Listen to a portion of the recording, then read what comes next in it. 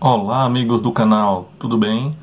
Como prometido, vamos agora fazer um videozinho bem rápido sobre a configuração dessa plaquinha de automação, que é utilizada para fazer automação diretamente no inversor, quanto ativar relés de temporização, que também ativam contatoras. Essa placa tem inúmeras utilidades e a configuração dela é bem simples. Vamos dar só uma revisadazinha no esquema antes da gente mostrar como é que configura. O esqueminha elétrico dessa placa, só relembrando, nós temos aqui a entrada que alimenta a plaquinha, que pode ser ligada a qualquer fonte de alimentação de 6 a 40 volts. Nós temos aqui os terminais para ligar no banco de baterias, vai fazer a leitura da tensão da bateria e aí, de acordo com sua programação, vai fechar o relé.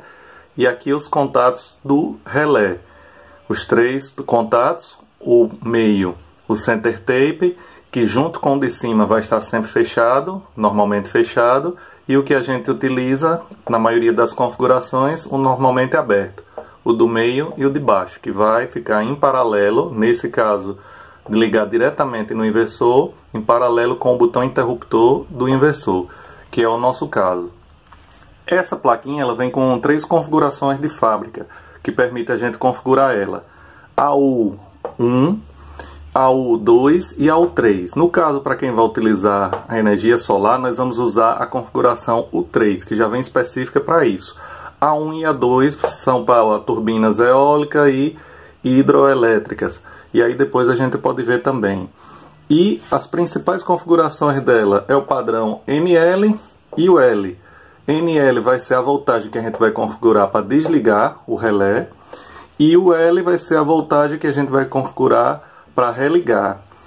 Quando a gente pegar a plaquinha que liga ela, o, o visor já vai mostrar aqui a tensão do banco de baterias.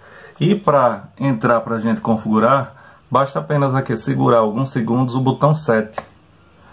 Quando segura o botão 7, ele vai entrar na configuração para você escolher que tipo de programação. E aí a gente vai mudar para 3, que é a solar segura alguns segundos para ela gravar essa configuração, já definiu a configuração que é a solar, o 3, e agora a gente vai configurar essa configuração da solar. Segura agora alguns segundos para entrar na configuração, o 3. Vamos dar um toque agora. Aí, NL. O que é NL? É a voltagem que a gente vai configurar para desligar o banco de baterias. No meu caso, eu configurei para 25.2, que eu quero que ele desligue quando tiver com 12.6. Como o meu banco de baterias é 24 volts, então 12.6 vezes 2, 25.2. Se eu quiser alterar, eu vou subindo ou descendo. No up sobe, no down desce. Vou deixar aqui no 25.2, seguro um pouquinho no 7, configurei uma tensão. Vamos agora configurar a outra tensão. Entrei, NL, já está a tensão que eu quero. Vamos agora para o L. O L eu configurei para ele religar quando atingir os 28.8, que seria 14.4 por bateria.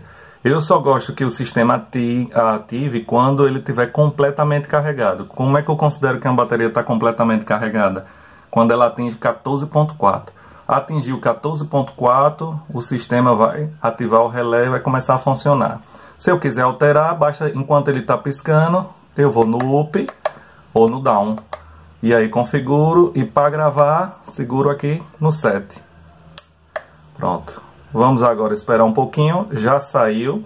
Como a tensão está em 29 volts e a minha tensão para ligar, para ativar é 28, então automaticamente ele já acendeu a luzinha dizendo que está ativo. Já fechou o contato e aí já mandou o, o, a informação aqui, o contato fechado para o interruptor. E essa é a configuração bem simples. Agora, para quem chegou aqui no, no final do vídeo, vamos dar o macete dessa placa, que muita gente se assusta com essa plaquinha. Ela, depois de alguns segundos, ela vai desligar esse visor. Vai ficar só o LED aceso, indicando que está comutado ou não.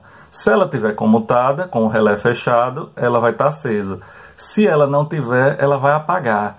Ou seja, você vai ter momentos que essa placa vai estar tá completamente apagada. Nem vai mostrar o visor da voltagem, nem vai mostrar o da comutação, porque a tensão da bateria pode estar tá baixa, do banco de bateria pode estar tá baixo e ela já entrou em stand-by. Aí você olha assim e diz: Eita, minha plaquinha parou ou queimou. Não, ela apaga por completo e mesmo assim, quando ela atingir a voltagem de desligar ou ligar, ela vai fazer normalmente. É isso aí, pessoal. Valeu! Qualquer dúvida ou informação que você queira mais, comente aqui. Também aproveita, diga aí de que cidade você está seguindo aí nosso canal. O, alguma outra matéria que você queira, alguma dúvida, algum vídeo para a gente estudar, passar para vocês da melhor forma possível. Porque a gente tem que estudar para buscar mais informações para passar o melhor conteúdo para vocês. Porque o intuito é que vocês não errem na montagem de vocês. O que a gente puder trazer de informação técnica a gente vai trazer para todo mundo vá fazendo seu sistema da melhor forma, com a melhor eficiência e tendo acesso às ferramentas. Inclusive vou deixar o link aqui dessa plaquinha de um dos melhores vendedores aí no AliExpress que vende essa plaquinha. Para quem quiser adquirir, só ir lá e conferir. Valeu!